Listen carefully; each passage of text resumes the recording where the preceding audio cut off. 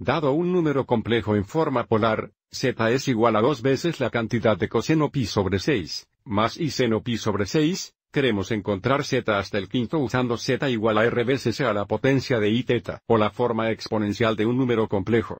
Acabamos de hacer exactamente el mismo problema usando el teorema de De Moivre, que se indica aquí, pero también quiero mostrar cómo podemos usar la forma exponencial de un número complejo también. Debido a que el número complejo se da en forma polar, debemos reconocer que r es igual a 2, y teta es igual a pi sobre 6.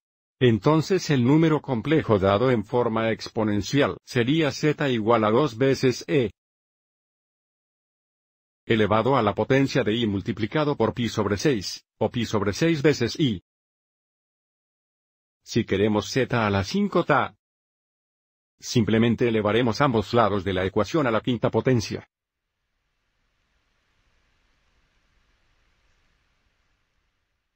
Recuerde, el exponente en estos dos es 1, así que debido a que tenemos poderes elevados a poderes, ahora vamos a multiplicar los exponentes.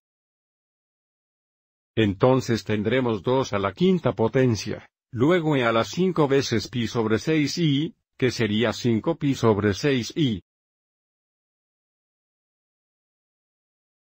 Ahora, sigamos y escribamos esto en forma polar.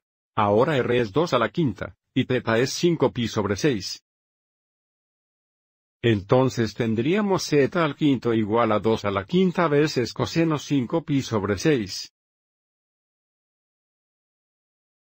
Más yo seno 5 pi sobre 6. Note que este es el mismo resultado que si aplicamos el teorema de De Moivre, pero en su lugar, usamos la forma exponencial de un número complejo. Ahora tenemos 2 al quinto, que es 32.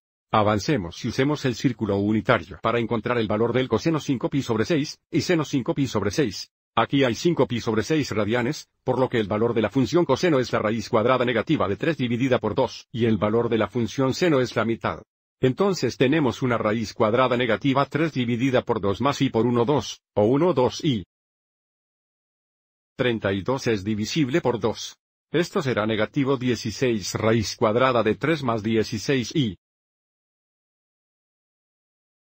Este es nuestro número complejo, elevado a la quinta potencia usando la forma exponencial de un número complejo. Si miras el otro video, espero que puedas ver la conexión entre el teorema de De Moivre y la forma exponencial de un número complejo. Gracias por ver.